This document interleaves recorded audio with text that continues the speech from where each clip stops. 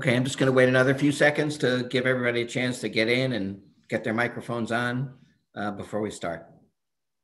Because we've got a good crowd today.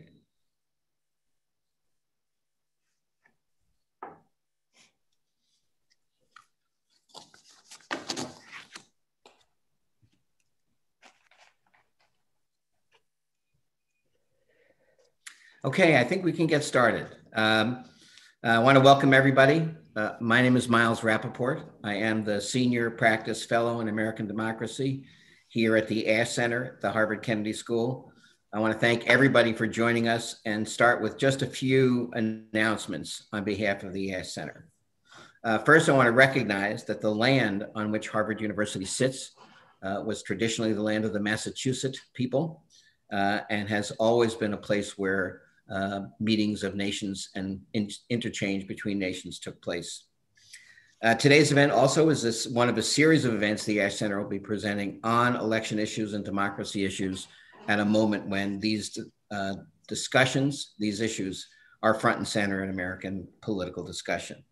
Uh, today's event, by the way, I want to let everybody know is being recorded. It will be up on the ASH YouTube channel. Um, and so um, just wanted everybody to make sure that we knew that. Our format for today is conversational. We're not going to have long speeches to by the panelists. I'm going to ask each of them a couple of questions. Uh, and then after that, we will go to the audience and have questions. And my colleague, Tova Wang, who you see here, uh, is going to be the chief uh, uh questioner, uh, both looking at your questions, which you should put not in the chat, by the way, put them in the Q&A for the YouTube. I think that will make it easier. Um, and she at the, when we get there, will uh, look at the questions and make sure that we get the, the groupings of the best questions that we have. All right, let me just frame the issue uh, a little bit more for everybody. Um, today's discussion, I think, is both really important and extremely timely. Uh, the election of 2020 was remarkable for a number of things, as we all know, but one of them was the drama that played out over the election process itself. The starting point was the challenge of doing a major high interest election in the middle of a pandemic. Almost immediately, discussions began to be held about how to open up and accommodate voters safely in the pandemic, uh, by mainly by expanding voting by mail and expanding early voting possibilities. Equally quickly, the lines of debate fell into very familiar patterns. 2020 elections had the most controversy, the most lawsuits, and the most changes in voting process in the middle of the election of any election ever. And throughout all of that, or despite all of that, it had the highest turnout ever in an American election. In the end, according to recent figures released by the Pew Research Center, 158.4 million Americans voted, which is 66.2 of the eligible electorate. Now, here we are in the middle of February of 2021, the state legislatures around the country are in session, and the questions of how states are going to run future elections is at the center of debate again. According to the Brennan Center, at least as of a few days ago, and it changes minute by minute, 165 bills have been filed in 33 states to restrict the vote in some way. And on the other hand, 541 bills have been filed in 37 states to expand voting options, often by making permanent the adjustments that were made last year. As a former state legislator, I know that filing bills is a far cry from getting them passed.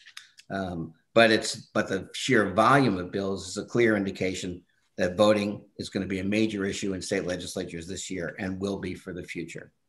So, what do we make of all this? What's happening now? What states are the most egregious in one direction or another? And where are we likely to land? Fortunately for us, we have three people who are at the center of these discussions and extremely knowledgeable about them to help us sort this out. Let me introduce them now. Uh, first will be Wendy Underhill. She's the Director of Redistricting and Elections at the National Conference of State Legislatures, known as NCSL. Uh, it is known, it monitors, the NCSL monitors all legislation on all issues, but certainly including election issues. And Wendy is just an incredible bipartisan and authoritative resource on the subject. Personally, I've had the pleasure of working with Wendy at NCSL conferences and events. She's truly a remarkable resource on just the questions we're electing, uh, uh, addressing today. And of course, this being the year of the census and redistricting, she's become an expert on all things census as well. Wendy, thank you very much for being here with us. Glad to be here with you. Thank you. Dale Ho is a remarkable litigator and is the director of the Voting Rights Project at the American Civil Liberties Union. As such, he has been on the front lines of identifying efforts at voter suppression in states and fighting it back against them in court after court uh, around the country. Dale has argued, personally has argued two cases before the United States Supreme Court on the census and on immigration, and has been involved in numerous court cases in states around the country in defense of voting rights. Dale, delighted to have you with us. Thank you so much for having me. Looking forward to today. Okay, great. Uh, finally, State Senator Nan Grogan Orrock of Georgia. Nan began her career as a civil rights activist in SNCC and the Southern Student Organizing Committee, and has been in the Georgia State Legislature for over 30 years. She represents a good part of the city of Atlanta uh, and has been a stalwart fighter, often against great odds and opposition on behalf of voting rights and on behalf of full participation for everyone in Georgia. Personally, I'm delighted to say that Nan has been a friend of mine for years, and she's on the front lines with Stacey Abrams and others in bringing about real change for the state of Georgia. So, with all that as introduction, let me ask my first question to Wendy. Wendy, in your role as a tracker and trend observer in chief, we might say, for state legislation, how would you describe the trends you're seeing in the state legislatures around the country, still at this relatively early point in most of the sessions? Uh, well, thank you, Miles, for inviting me here. And thank you for that very nice introduction. I hope I can live up to what you had to say about me. We'll see. And thanks to everybody who's here with us today. I understand we're landing on Mars at this very moment. So you do have some competition in how you spend your day. Um, so uh, your question is about the trends that we're seeing this year. And uh, it's not surprising that what happened last year in election would drive legislation in the, the following year. That's always the case. And the big news is, of course, related to absentee voting, and I'll, I'll talk about that for a moment. But there was more going on last year than just the huge increase in absentee voting uh, that also is showing up this year. Um, so I'm going to have things in a couple of buckets. We'll do the absentee voting, um, what, what was there, and then a few things from a separate bucket.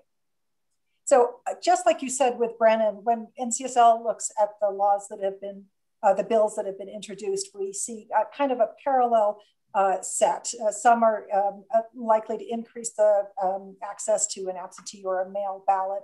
Some are intended to limit. And I'm going to say that most of them are fine tuning. Uh, Brennan categori categorizes more in those first two buckets of increasing or limiting. We think more fit into that fine tuning category. I think um, the reality is right there out for, for folks to see.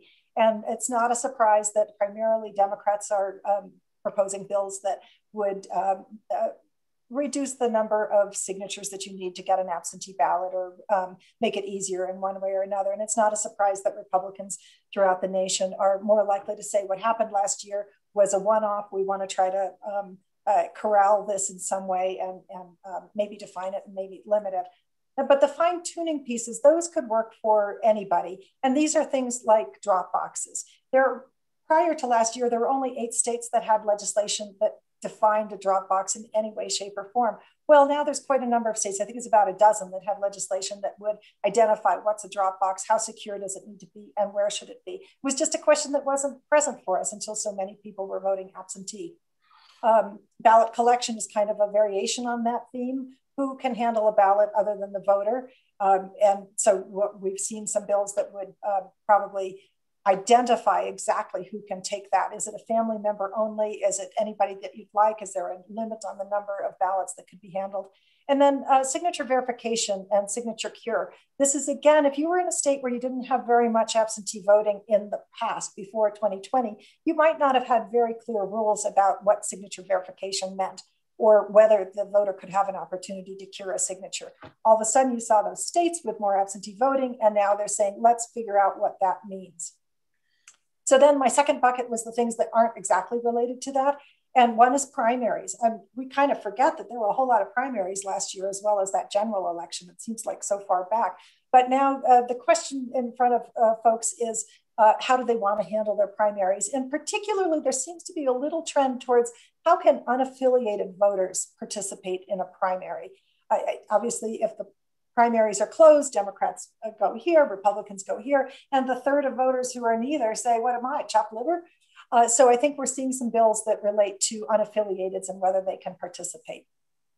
Uh, poll watchers, um, uh, clearly after the election, that became uh, a hot issue, and states have generally had legislation or um, regulation on who can watch at the polls, but there hasn't necessarily been clear legislation on who can watch the voting, the, the counting process. So uh, we're going to see a little bit, since we now have like this whole time frame that's called an election instead of one day, uh, I think the um, regulations around poll watchers is likely to shift a little bit. Um, and of course, the Electoral College, um, uh, every presidential year, you see some bills afterwards either join or exit the national popular vote. This year, we do see more bills related to the congressional district system for allocating electoral votes. And Nebraska, which is one of the two states that currently has that system where they um, give two of their um, uh, electoral college votes to uh, whoever won the state as a whole, and then the others are divvied up by congressional districts. They're looking to shift back, perhaps, and then we have a couple of states. Wisconsin's one, and I think Michigan might be the other, where they might go the other direction. So, not a surprise, the Electoral College brings up a lot of stuff, also faithless electors as well. And I'll just mention briefly ranked choice voting seems to be, um, if not hot, at least warm and uh, post election audits, which is kind of part of the verification system, seems to be something that states are going to be looking at more and more and more. And I think, Miles, I'll hand it back to you with that. I'm happy to come back later and say some more stuff as needed. Great. Wendy, thanks very, very much. Uh, and Dale, let me come to you. You are also one of the keenest watchers in the country of states attempting to restrict voting options, especially in battleground states. Seems like every day we see another story about legislators usually Republicans, as a matter of accuracy, filing broadside attacks against voting in states like Pennsylvania, Arizona, Iowa, and of course, Georgia, which we'll come back to. Um, what are you seeing, and what's the ACLU doing in response? Um, broadly speaking, and thank you for the kind introduction, Miles, and thank you everyone for um, deciding to spend some of your afternoon um, with this um, panel. It's uh, I'm really excited to be here today. Um, broadly speaking, what we're seeing is uh, a range of efforts to try to restrict uh, voting, particularly voting by mail. And in many ways, what I'm you know interpreting this as is a kind of recapitulation of um, efforts that we saw to restrict voting after the historic 2008 presidential election, and in particular, um, efforts to restrict um, early voting, um, which was disproportionately used by voters of color in 2008. So let me back up and just try to set this parallel. Um, the 2008 election saw extremely high levels of turnout. Um, it saw uh, uh, record levels of participation at that point by um, voters of color. It was the first presidential election nationally in which um, uh, Americans of color were over a quarter of the eligible electorate. Um, we saw huge levels of turnout, um, carried um, Barack Obama, the nation's first Black president, um, to victory. And then after that, we saw furious efforts to restrict access to voting, and not across the board, not in ways that would have hit all segments of the electorate equally, but um, which seemed surgically targeted at the means of participation that were used disproportionately by those demographic segments of the electorate that had emerged in 2008. And early in person voting was a key target after the 2008 presidential election. Um, we saw in uh, the early 2010s um, cutbacks on early voting in states like Florida, Georgia, North Carolina, Ohio, Wisconsin. Um, the ACLU, where I work, was involved in litigation um, in a number of those states. And what I think is really interesting is that all of these states were very eager to expand early in person voting um, 10 years earlier in the early 2000s. Um, that was a period of time in which early in person voting was disproportionately used by um, white voters. Um, 2008 flipped the script. Um, the Obama campaign was very successful in mobilizing its base um, to turn out to vote early and to do so in person. And in a number of these states, it was the first election in which voters of color and black voters in particular um, disproportionately used early in-person voting. Florida, I think, is the most notable example. 2008 was the first presidential election in which Black voters were more likely to use early in-person voting um, than white voters um, in Florida. Um, over half of Black voters in the 2008 presidential election voted early in person, as compared to, I think, about 26% of white voters. Um, and after that, the Florida legislature responded by cutting five days of early voting and most notoriously eliminating early in person voting on Sunday before Election Day, which was a time that was um, um, very significant for um, Black churches for souls to the polls activities. Black voters about 20% of the electorate in Florida, but we're about 30% of um, early in-person voters on Sunday. Um, so after we saw a change in the demographics of vote, vote method choice in the 2008 election, with a shift um, uh, uh, with voters of color and black voters in particular moving towards early in-person voting, we suddenly saw efforts to restrict that means of voting. Um, we're seeing a similar, we're seeing similar beats in the post-2020 um, election story. Um, as Miles noted, 2020 um, had the highest presidential election turnout in terms of sheer number of voters in American history. I think in terms of turnout rate, it was the highest um, since the 1900 presidential election, so more than a century. Um, and we saw, of course, more absentee voting um, than ever, I think primarily due to the pandemic, but also because a number of states had loosened their rules on um, um, voting by mail. A number of states were administering no excuse absentee voting for the first time in a presidential election, including some important battleground states like Michigan um, and Pennsylvania. Now, before 2020, we didn't see many attempts to restrict voting by mail. If anything, we saw kind of a bipartisan consensus around making voting by mail easier. More and more states were offering um, um, um no excuse um, absentee voting. It had passed most recently in Pennsylvania, where a, where a um, Republican majority legislature had enacted um, a bill passing no excuse. In states that enacted strict voter identification requirements, something that's been quite controversial, a number of states actually exempted absentee voting from uh, voter ID requirements, states like North Carolina and Georgia. So we had kind of a broad bipartisan consensus on making voting by mail easier. The one exception to that, I would say, was is in the area of um, ballot collection assistance efforts, what's sometimes referred to pejoratively as ballot harvesting. There have been some efforts to put limits on that, but for the most part, um, eligibility to vote by mail um, and the ease with which people could vote by mail um, um, those were things where access was expanding over the um, preceding um, decades.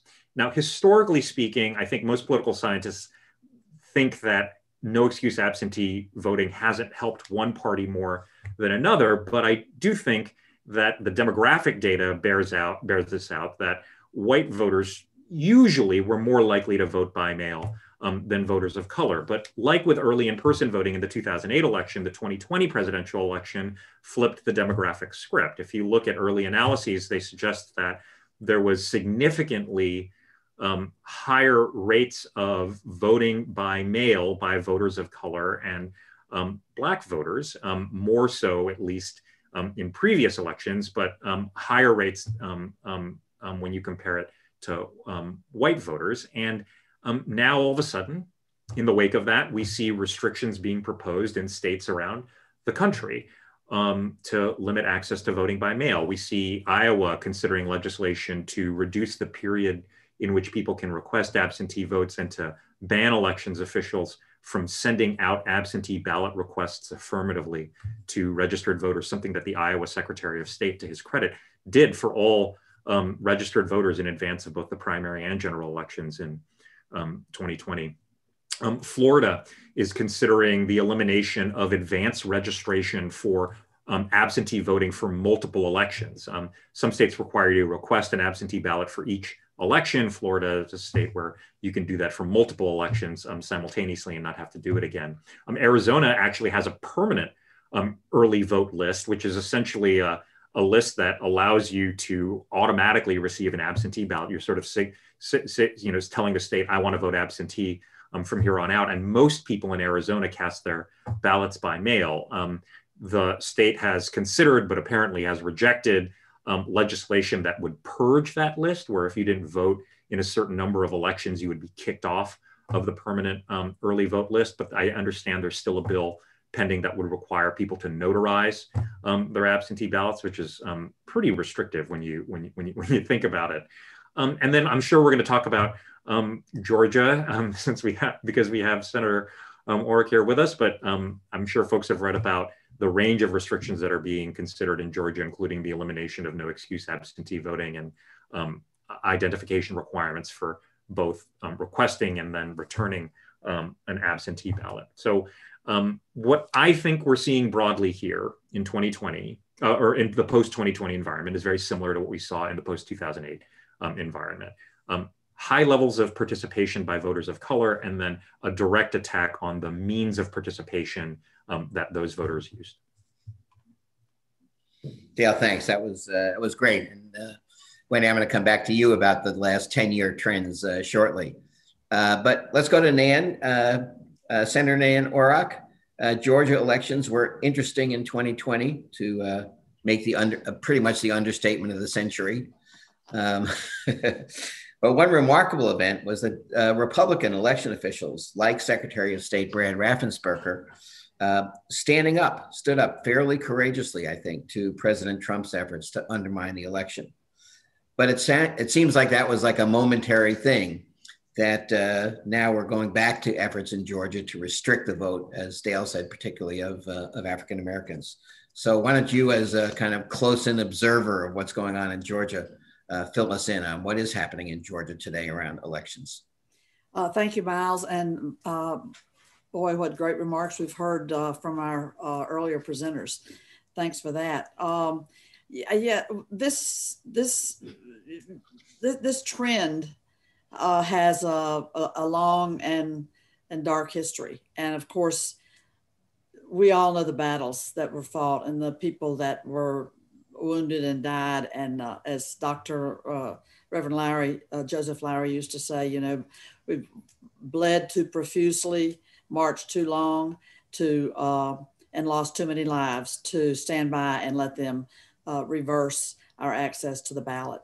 And um, in 2005, Georgia became, and the experts correct me if I'm wrong, but to my knowledge, the first state in the union to pass voter ID legislation. Um, we did walkouts, we did uh, uh, talk ins, we brought manacles to the well of the Senate uh, to stop that uh, those that draconian voter ID, and we saw it spread like a virus throughout the nation. And sometimes they caught them red-handed. Uh, when that Pennsylvania uh, Republican leader said, "Well, we passed that voter ID bill, and now we're going to win all our elections," or or whatever. I'm misquoting, paraphrasing, but it became increasingly clear this wasn't about voter ID. This wasn't about cleaning up the voting process. It was about blocking access, and just like the poll tax was. So uh, down here in Dixieland, you know, the shadow of the plantation casts uh, a, a, long shadow over uh, the century and a half. So that was put in in 2005. And then, as you described, uh, Dale, we saw uh, in the uh, late aughts that there was a the rec- there was a recognition or uh, by the Republicans that wait, we can get out our vote uh, by uh, absentee ballot, and they they put this very very open ended process in where you can vote by mail and do early voting and um, not have to have you know without without an excuse or without a being ill or or being old or or whatever they they really opened up access to early voting and absentee ballot casting uh, there was a change of heart uh, in this uh, decade that we just uh, completed. And that was when our uh, current governor, Brian Kemp, was the Secretary of State for about eight years. And in, in that period, he the ACLU had to just sue him and, and, the other voting rights groups over and over. He was in court.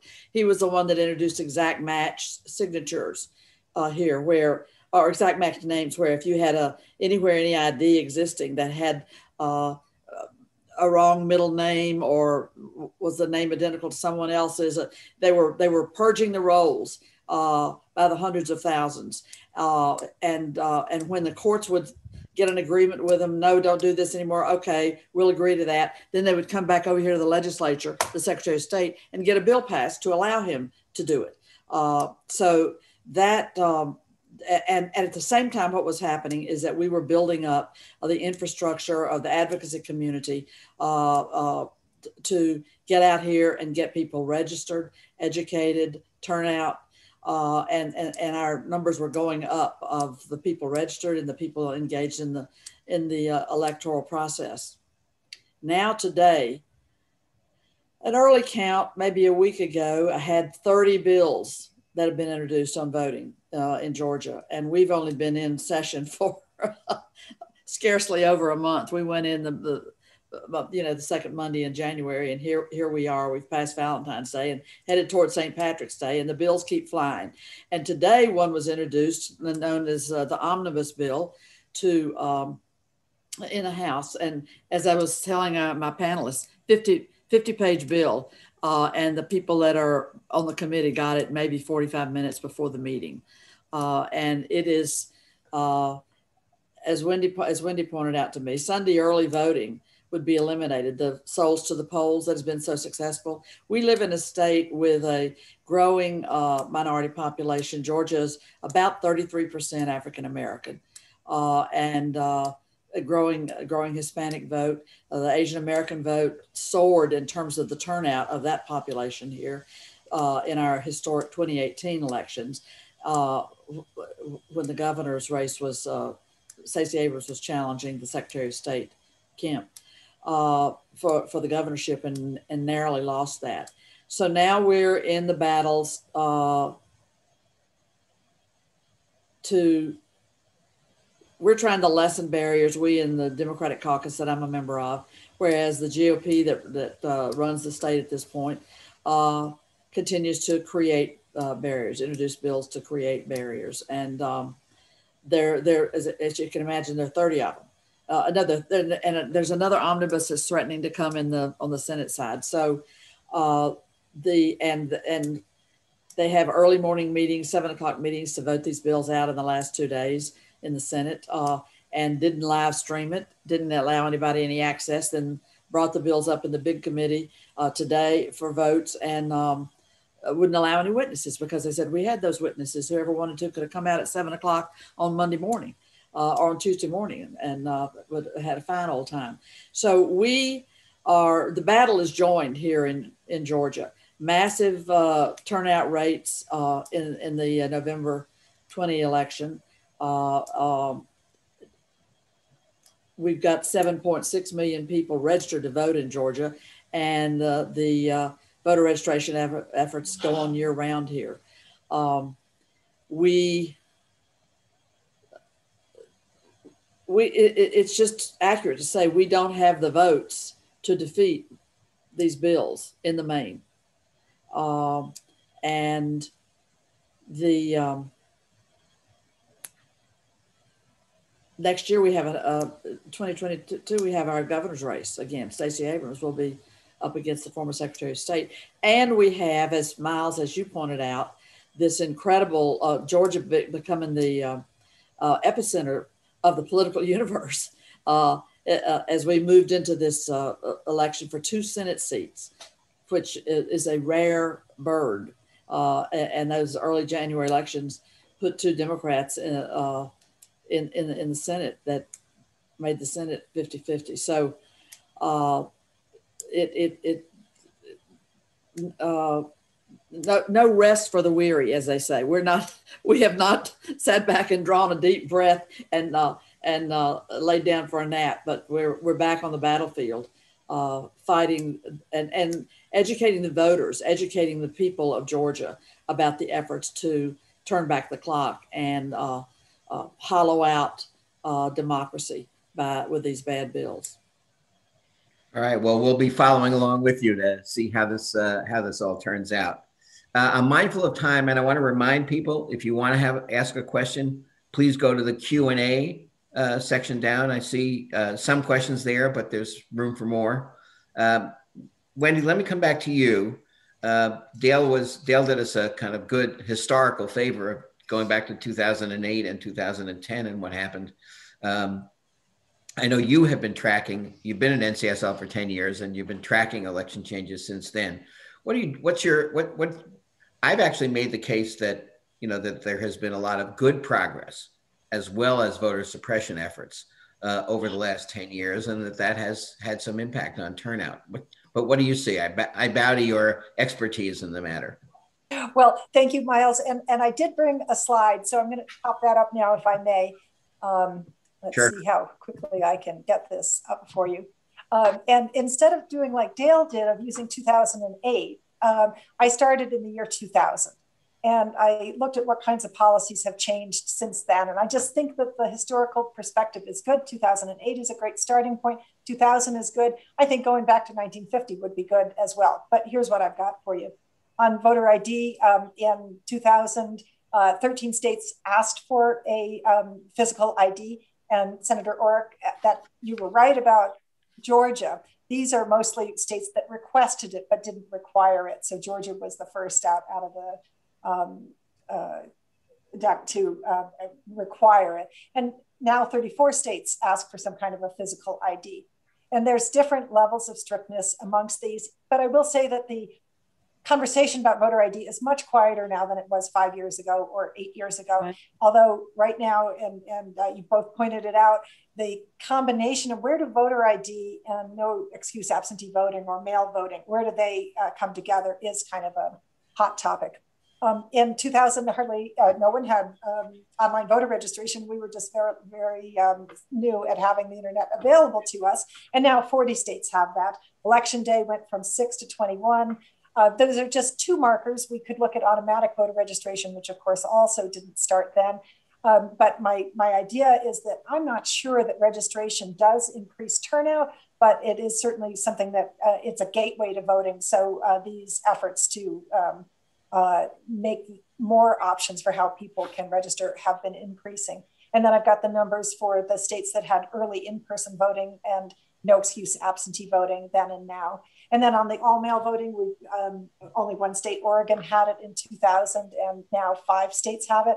I, I, wouldn't be at all surprised if we're at six or seven at the end of this year. California, in particular, looks like it might be ripe for going in that direction uh, this year. It did it last year on a temporary basis, and whether it does it on a permanent basis is uh, yet to be seen. So I guess the overall, uh, you could say that all states are making more efforts to clarify whatever it is they want because there's more laws on the books for all of these things.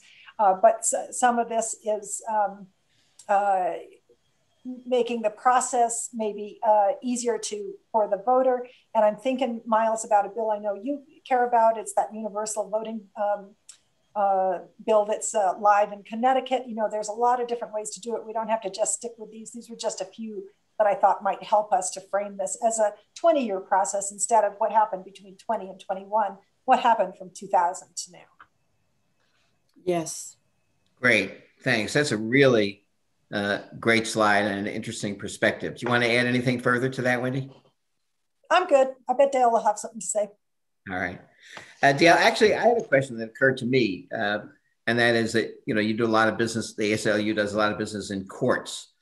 And my sense in 2020 uh, was that overall, the courts held the, you know, the courts did their job and over generally speaking, protected uh, voters more than, uh, but at the same time, you've got uh, an efforts to, you know, make the courts more conservative. Back when Mitch McConnell and Donald Trump were talking to each other, they were working together to, uh, you know, uh, stuff the courts. What do you think is the real uh, impact? What are we likely to see in the courts as the as the 2021 legislation goes through? And I guess you could add, what are we going to see from a very different Justice Department that we're going to have? I mean, it's hard to predict in advance. We don't know which of these bills are going to pass and what they're going to look like finally, and what litigation might look like. I, I will say that the courts did very well, um, and judges appointed by presidents of you know both political parties, I think, you know, held the line really against the kind of very baseless, you know, fact-free complaints that the Trump campaign was bringing to try to overturn elections results. And you know, viewed strictly from that lens, I think the courts really did a, a, a great job, better than a lot of our other um, governmental institutions in you know, um, standing up for basic principles of uh, democracy and not allowing sort of like lies and innuendo and very kind of, you know, uh, I would say specious legal theories to undermine the results of a free and fair election and maybe the cl- most closely scrutinized election that we've um, had ever and certainly in, in recent years. Um, I will say though, starting from the beginning, like I would think that's a pretty low bar, right? Like I would, I would expect the courts to do that. And what the courts, what the courts didn't do much of last year, I think, was respond to um, real concerns that we raised in a number of lawsuits um, that others ha- did as well about the threat to voting rights that um, trying to conduct an election under normal rules um, um, would would have in the context of the COVID nineteen pandemic. Right, a lot of rules that we have that normally are not particularly burdensome. Maybe they stop a few people from voting. Um, um, requirements to get a witness to sign your absentee ballot, notarizing your absentee ballot, things like that so, so some people stop don't don't vote because of the, these rules, but probably in a normal election, not all that many. When you have the worst respiratory pandemic in a century and people are being told to stay home, well, you know, restrictions like that take on a whole different character. Um, you know, eh, challenges to those kinds of laws had, I would say, mixed success. And even where such challenges were initially successful in trial courts, um, they were often stayed um, on appeal. And courts didn't do as much, I think, to protect um, people's right to vote in the very, very particular circumstances of the pandemic um, as I would have hoped um, when the pandemic began 10 or 11 um, months ago. And what about any any any thoughts about what we're likely to see this year? Uh, well, I, hard, again, hard to say because I don't know what these laws are eventually going to look like, and we'll see what the legislative records turn up in terms of what um, these legislators are actually considering. Um, I, I, will say this, though, to your question about the Department of Justice. The Department of Justice could hardly do worse than it did over the last four years. I think the administration filed a single voting right uh, case under the Voting Rights Act uh, uh, over the last four years, um, which, you know, I can't, I don't think there's ever been a four year period um, with the DOJ doing so little to enforce the, the VRA. Okay, Tova, I'm going to come over to you. Uh, I know you've been monitoring, uh, uh, well, you've been monitoring the election system for years. I know that, but also monitoring the uh, the, the Q and A. So, do you want to sort of lead us off with a question from the audience? Yeah, I was just going to say also that um, Georgia and Florida make me feel quite secure that you, Dale, and I are not going out of business anytime soon. Um, can always count on them. So um, yeah, so a lot of people are asking questions that are similar to the one that you just asked, Miles, and I'll put it a different way. Um, Dale, I know that you're saying that you don't know exactly what these bills are going to look like in these states, so it's hard to really assess where the litigation is going to be. But maybe I would ask it as what types of measures do you think will be actionable and challengeable? Like, I know, so in the past, there has been litigation when there have been cutbacks to early voting and elimination of Sunday voting um, you know, which is blatant, right? Um, I don't know that there's ever been anything about cutting back vote by mail because I never wanted to do that before. But I, so what are the kinds of things that seem like they could be good lawsuits? Uh, you know, it's, again, it's I think kind of hard to say until we actually see it. But you know, the kinds of things that have been um, ruled invalid by courts in recent years are things like Texas's very restrictive voter identification requirement, which you know I, I think that ruling was very specific to the facts of Texas. In Texas, it's particularly difficult to obtain ID if you don't already have it, um, particularly if you're of lesser means. I mean, there are, you know, um, I think over 70 counties in Texas that don't even have ID issuing offices. And Texas is a very big state geographically. So if you don't have a, a driver's license, um, you know, to get to a, an ID issuing office in another county is quite difficult because you can't drive there because you don't have a license, right? So, um, you know, a, a really, really restrictive requirement like that, where there are very, very significant practical barriers that completely prevent certain people from being able to have the requisite documentation or whatever that could be actionable. North Carolina had a bill that was ruled intentionally discriminatory and struck down as unconstitutional in the 2016 election cycle. And I think what was particularly unique about that bill was the breadth of it. It wasn't just an ID requirement, but it also cut early voting. It also got rid of same day registration. It also got rid of pre registration for 16 and 17 year olds. It also required ballots cast at the wrong precinct to be discarded in their entirety instead of um, being partially counted for offices which the voter was in fact eligible to vote for, like you know senator or governor or president. Um, so it's kind of I think the sweeping breadth of it, and that every one of these things um, disproportionately hit black voters in the state. That was ultimately persuasive to the court there. You know, if you get a provision, you know, a bill like these kind of omnibus bills that are being proposed in Georgia or Iowa um, to pass, then you know it's possible you could see lit- litigation like the North Carolina litigation from four and a half years ago. Um, if you get more targeted um, restrictions that just kind of make voting a little bit harder, narrow the window in which you can request an absentee ballot without making it altogether impossible for someone to cast one, I think those are the kinds of restrictions that will be more difficult to challenge in court. What about specifically cutting out Sunday voting as being racially discriminatory, which I think Nan thinks is the case?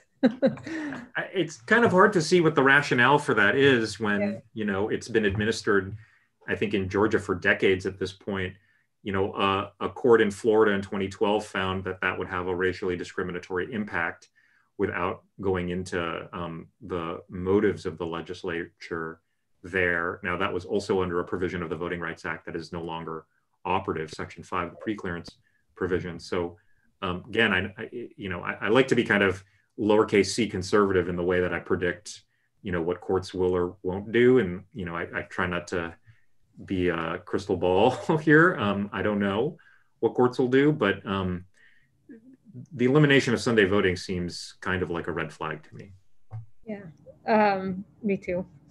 Um, Wendy, um, one thing I don't think I heard you bring up, and maybe not any of you, uh, though who knows what what is on the docket, but um, is the purge issue and the issue of purges as another big thing that has come up. And on the voter ID issue, also, how much do you think it's that they've moved on to other things as opposed to all the places that were going to pass ID laws have already done it? I think you're muted, Wendy. Wendy, you're muted. Okay, um, I, I, think you're probably right that the the number of states that have um, voter ID laws is is about as high as it's likely to go given the political landscape.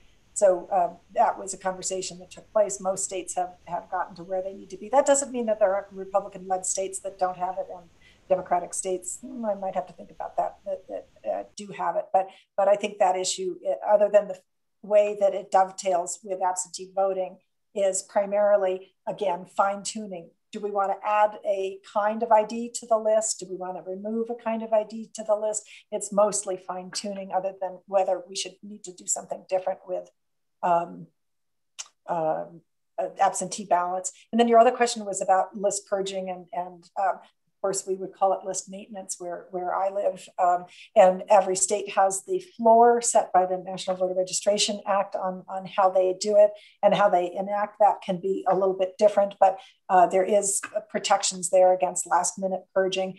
Um, and uh, there's a couple of variations on, on how to do it. And we do see some laws on that. But one I would offer to anyone who is thinking about wanting to have really clean lists is one way to do that is to look at the Electronic Registration Information Center known as ERIC. So that's a consortium amongst the states where they can compare um, the voter list. So if there's a Wendy Underhill in Kansas and a Wendy Underhill in Colorado, it doesn't kick what that either of those Wendy Underhills off of the list, but it does call to the attention of both Kansas and Colorado that there could be a duplication. And then both states can um, explore does she still live there or not? So it's a, a way to clean the list that I think has um, attraction for both parties. And uh, it's certainly been growing. I think we're at 30 states now. So in the other 20, if you're thinking about uh, list maintenance, making sure your rolls are as clean as they can be by the time you start to get people to the polls or send out ballots, that's an option to consider. When did you see Tova, it? Tova, let me jump jump in for a second and uh, just ask Nan to follow up on that because I think Georgia, uh, as I've followed it over the years, has just been like a whirlwind of uh, argument and back and forth over the purging issue. Um, you know, the exact match um, issue. The I know that uh, there were 53,000 voters who were held back because they uh, might. Uh, I think I saw a statistic a few years ago that more people were purged than actually were registered over a two or three year period. What's the what's the status and how how well do you think the the the, the fight against unfair purging uh, has gone and is going in Georgia? You're muted, Nan.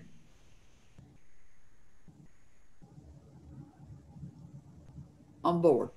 Each, uh, it's death by a thousand cuts. Uh, and Dale was describing kind of small, narrow, targeted. We're going to change this. We're going to change that. We're going to change this.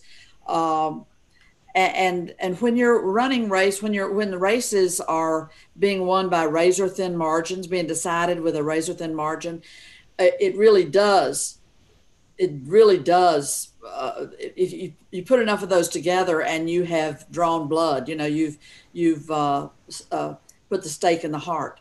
Uh, and, uh, and, and so they, these bills are not cleaning that up. And um, it's very interesting. Our, our, Secretary of State, as Miles pointed out, you know, uh, had the courage to stand up against the abusive efforts of Trump to get in here and uh, uh, uh, dominate the situation and, and and pressure election officials, Republican election officials, up to all the way up to the governor to change the outcome of the vote in Georgia. I mean, you, that's gotten national public national publicity over and over.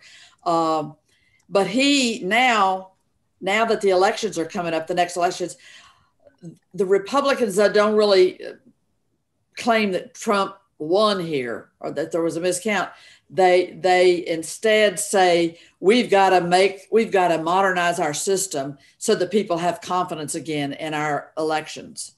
Uh, and then they and and and in, do, in, doing that they start with these whacking away at uh, uh, bit by bit by bit no vote on sunday lessen the that, that move move uh, uh, you know reduce the window in which you can uh, request an absentee ballot that is almost surely uh, going to pass. And I would point out another dynamic that's at play here in Georgia, and that is that they attack and, and pursue legal and uh, uh, uh legal attacks against the nonprofit groups, the voter registration, voter rights organizations that are out here mobilizing and activating. Now, Wendy, Wendy pointed out that uh, the findings in recent years are that everybody that you go out there and finally get to register, you know, get them to come out and, and do that, do the deal. Uh, that doesn't mean they show up on on the on voting day. You have another whole entire challenge to keep those people engaged and go back to them and and uh, and get them out casting a vote by by one method or another. Uh, so the work of those groups is very, very important. And what the, the group that Stacey Abrams formed here and that was chaired by Reverend Warnock, who is now in the U.S. Senate, uh, uh, New Georgia Project, is being um, uh, demeaned. Uh, accusations being made in the press by the state the elections board that's dominated by, by Republicans. Uh, investigations launched, and this is this is really old hat here in Georgia. The um, because you do that to weaken the capacity of the organizations to get out here and do the job that they're pledged to do. That's their mission, which is to, uh, uh, uh, uh you know, identify uh, the uh, unregistered, reg- get them registered, and then work with them all year so that they turn out on election day. and that capacity is is sharply eroded when you've got to got to be paying lawyers and showing up in court and fighting the battle in the media. Uh, all that's been launched since the, the, the January 5th election. Uh, just to tell you how, how big the stakes are in 2022, it's our, all our statewide officers. Trump has said he's going to come in and, can, and personally take down uh, our governor because the governor would not cave to him. Uh, Raffensperger is, uh, some call him you know, an endangered species that that, that, that his winning, the, the Secretary of State winning after standing up against Trump and our in our state is going to be impossible. And I can't measure, but I can't quantify it, but it's definitely there. And that is the alternative that the alternative narrative. If they want to block us from voting, if they want to make it that hard, we're going to vote no matter what there's there's that impact. But then there are others who say i'm not going to go down there to my precinct and get embarrassed and get my vote challenged and give him some bogus provisional ballot to to uh, fill out instead of a, a, a, a, true ballot that i'm casting. So it, it, it cuts all kinds of ways uh, and uh, the the the electoral i mean the the the the, the, the court battles that, that are being fought uh, are critically important. And Miles, back back to the one of what's going to happen with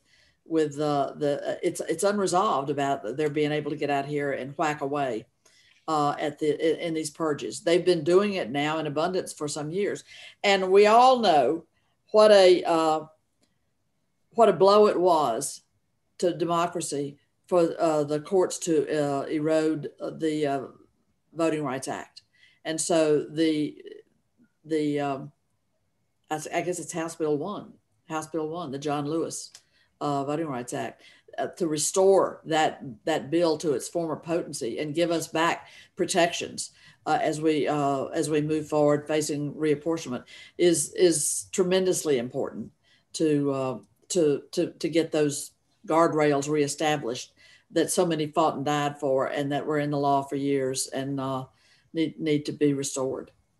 Yeah, actually, there were a few questions in the chat. I was going to get to that about HR one, which is different than the then there's the John Lewis bill and SB one, which if you haven't seen, you know, just really um, go across the board and all the kinds of voting reforms you might want to see to make voting uh, more accessible for everybody. Um, so if anyone else wants to say anything about that, but I also just wanted to follow up and ask um, the efforts to restrict voting by mail, which um, is the new thing, right, this year that I think we're seeing a lot of. I, Wendy, correct me if I'm wrong. Is it? Could you repeat that? The t- uh, because I, the phone rang and. Yeah, no. That so it, the efforts to restrict vote by mail that are suddenly the new thing this year, and you know hadn't really come up in this way before. Um, is a little bit strange considering the approach to vote by mail in the past, and also possibly uh, might come back to bite them politically. They're right. I don't. So my thing is, and I'm, I'm trying to look at this is whether the thing, the way people voted during the pandemic, is going to be the same. They're all going to say, "Oh, I love voting by mail. I'm going to vote by mail forever," or they're going to revert back to pretty much the same patterns or closer to the same patterns as before. Um, as we know, African American voters had historically um, voted in person at much higher rates um, than white people, and then the reverse was true. Whites voted much more at vote by mail. So I don't know how any of you see that playing out. I guess I'll offer that, in fact, last year, it was partly the decisions that election administrators, um, all the way up to governors and legislators, made on what was available to voters. But more than that, it was the choice of the voters to make use of already existing options that they just hadn't um, accessed previously. So there were some changes that were just temporary. Um, and there was that the kind of thing where you mail out an absentee ballot application was kind of a 2020 novelty. Uh, and and as um, Dale pointed out, at least in Iowa, uh, there's a bill to not permit that. But voters have choice already, and whether they stay with what they got, did they like their experience or not? Um, I guess I don't know how to know that yet.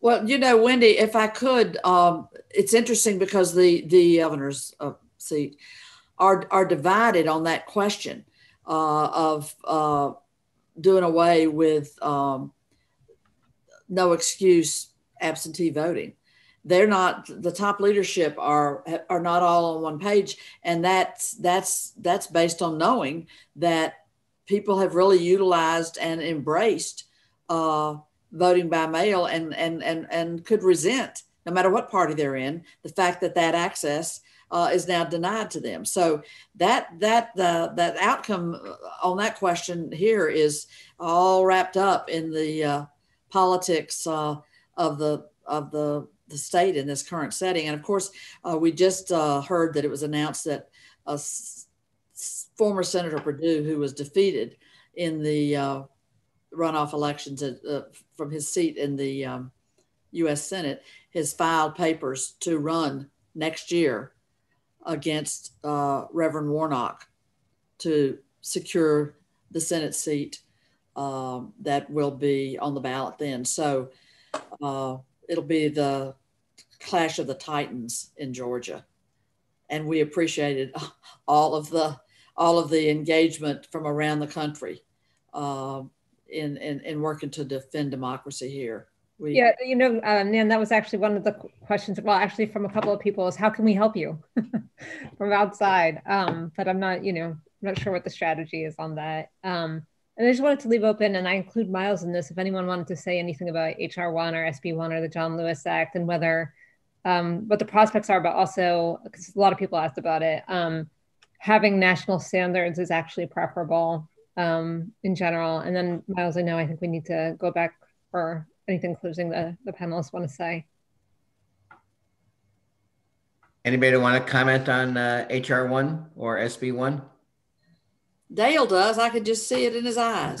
That's right. Go ahead, Dave. I mean, these are huge bills with lots, lots, lots of stuff in them, and yeah, I, I, guess I'll, I'll just say that you know there are some, there are a few provisions that would, I think, effectively moot a lot of issues that um, get talked about as you know concerns about voter suppression. You know, election day registration, for example. Um, you know, that's something that you know, is actually has uh, uh, has a much longer vintage in this country than automatic registration, which a lot of folks have been talking about. Right, a lot of states adopted election day registration in the 1970s. These are states across the so you know kind of red blue spectrum. Right, you have some very red states with election day registration, some blue states, a few you know purple ones in between. Um, voters who have access to it like it. Um, young voters in particular don't understand why they would need to like print out a piece of paper and find a stamp and mail it somewhere you know three or four weeks before an election in order to vote. They're used to you know prime now right? Prime yesterday. Um, so it's just a kind of reform that makes a lot of sense. And to the extent that we're worried about things like erroneous voter purges right? Um, voters getting knocked off the rolls. Election day registration gives people a chance to fix it. You're worried about like exact match systems where someone you know tries to register but because there's a discrepancy between their registration form and their dmv records again election day registration allows you to fix that. Automatic registration too i think deals with concerns that folks on the more conservative end of the spectrum have about out of date voter rolls people being on there when they've moved. Automatic registration kind of um, fixes that automatically so that you don't have people um, um, um as quote dead wood on the rolls who um, you know, whose information may no longer be um, totally accurate. So there are, I think, just important pieces in HR one that um, would moot a lot of the both the voter suppression and the so-called voter fraud uh, concerns and bring our election administration system up into the 21st century. I mean, it's only 2021 now, so we've had 21 years to get into the 21st century. I think we we ought to be able to do it. Uh, yeah, I, uh, uh, you know, needless to say, I think uh, HR one and SB one and the John Lewis Voting Rights Act. Um, you know, these are all going to be major discussions um, in Congress, and we will uh, absolutely, you know, have events that are about them uh, as as it moves along. And the other thing that's obvious is that you know, as the legislative session, some of the session, some states uh, are in session all year long, but most of the states, uh, their legislative sessions will be finished by May or June. So we'll return to this at that point and just see, we'll have a much better sense of how all this has played out. Uh, right now, all we're seeing is the opening acts of a of a of a dra- of a several month drama uh, at the state level. But we'll uh, whether we have you back or or or or some of your colleagues in the movement, we'll uh, will return to these issues for sure. So let me before I, I want to make announcements about a couple of events. Tova, thank you very much for your monitoring uh, uh, work. But as as I promised, I want to give all three of you a chance to make any um, last remarks that you want to make, something you want to leave us with. And Nan, we'll start with you. Well, I would um, I, I, I, would say that we have seen in our state uh, the uh, the out, the outcome of the of the January uh, vote for the Senate seats uh, is not an isolated uh, outcome. Lovers of democracy have been investing for, um, mm, I, I, I, I, want to say almost 20 years, but have been building, putting together pieces of infrastructure. Uh, philanthropy has been an important part of that. Um, uh, to, to get uh, nonprofit efforts that are not uh, nonpartisan efforts out here to engage with with the uh, population to get out here and and uh, get connected in as voters and um, and also to, to coordinate those efforts so that everybody's not over in silos uh, you know, going going to the to, to the same areas, uh, trying to register voters, and and missing other areas. So there's been this there's been broad investment in in developing infrastructure in our state um, to mobilize people to vote, and it's been nonpartisan, and that has been a very significant piece of this. And of course, the parties uh, get out here and and uh, outreach to their voters and, and seeking the voters, but that that has been uh, an element uh, uh, that that is new to the stage in Georgia over the last 10 to 15 years, uh, and it's been it's been a real plus plus and very positive. And those nonprofits worked across the state uh, to spur turnout, not advocating for a candidate, but advocating to get out here and have a voice in your government and in democracy. And that has been, uh, I, I, you just can't understate how important uh, that uh, a role that has that's been played by that that sector. Uh, in addition to the the usual cast of characters, uh, candidates and the political parties, you know, that tee up uh, for these clashes at the ballot box.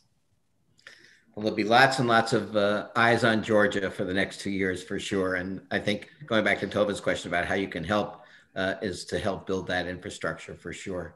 Uh, exactly. Dale, your uh, last thoughts for the audience? Sure. Um, and here I'll steal an idea that um, you know is at the center of um, a, a, a, professor at the Kennedy School, Alex Alex Keyssar's book, The Right to Vote.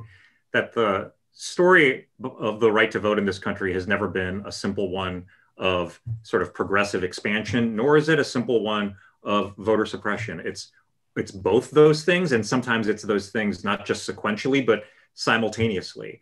You know, I you know one of the um, things that I think about sometimes is the fact that we're told this narrative that like the right to vote has kind of progressively expanded in our nation's history, and that's true, but it hasn't been linear and it hasn't been um, um, unidirectional. You know, at the founding, um, there were states where you know uh, we're sometimes told, like at the founding, only white men who owned property could vote. Right?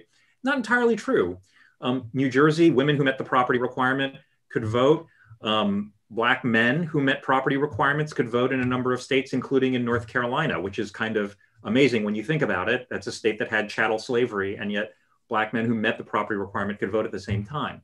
The 1835 Constitution of North Carolina did away with that. In the wake of Nat Turner's rebellion, the, North Carolina responded by getting rid of voting rights for Black men. But at the same time, they did that. They loosened the property requirements for voting for white men. You had an expansion of voting rights for some people and an altogether elimination of it for others. And when you look at today, 2021, you see this wave of laws that are trying to restrict voting rights, and yet you have more states than ever with election day registration. You have a tax on absentee voting, but you have in Alabama legislation that really has legs to make no excuse absentee voting um, permanent in that state. And it has the support of the very conservative Alabama Secretary of State, um, John Merrill, who's someone who's been an adversary for the ACLU in a number of times. So what does that tell you? That just that the right to vote is is is is the story of the right to vote in 2021, as it has been throughout American history, is a complicated one every story of progress has a story of retrenchment and and we're, we're seeing both things at the same time uh, dale thanks and by the way alex alex wanted to make sure i said hello to you before so I, I, i've been negligent up until now but hi uh, wendy and you get the you get the last word all right. Um, I'm thinking that what we could think about is what can we support? I mean, there's a lot of attention to what might uh, people on the line oppose, but let's think about what we can support. And one thing is we can support our poll workers and our election officials. Those folks came out and did a fabulous job in 2020, and they didn't get nearly enough uh, credit. And uh, if we could just uh, you know, give a pat on the back to everyone who helped serve to make that election work and figure out what their needs are to support them in the future. Uh, likewise, if we could support election infrastructure and funding, uh, whether that's funding from the federal level or state level or county level. Uh, note that this is a foundational piece of democracy and, and somehow government needs to pay for this. And then support verifiability. That's not, um, this would be the post-election audits and this would be the transparency on allowing people to watch uh, logic and accuracy testing and, and anything else. So supporting verifiability with in paper ballots and such things is something that we can probably all agree would be a good thing. And then Adele, you gave us a, a great hint. My last comment was going to be keep your eye on the long term, which you're obviously doing. So that's that's what I've got, Miles. Great. Well, listen, the three of you have been uh, fabulous and uh, really, really happy for you to uh, be with us here in the ASH community.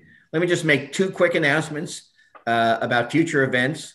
Uh, tomorrow, uh, the ASH Center will be hosting an event on Myanmar after the coup, uh, oh. moderated by ASH Professor Tarek Masoud, uh, featuring people who have been diplomatically placed there. Uh, I think it'll be great.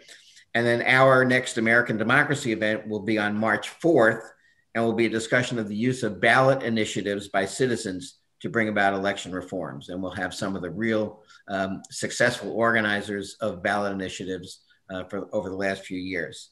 All right. Well, listen, I hope you found uh, today useful. As we said, uh, it, the video will be up on the YouTube channel. Uh, we'll look through the chats and see if there are things that we ought to get back to you about in any way. Uh, so please join us for future events. Sign up at the ASH website. And thank you all for joining us. And by the way, stay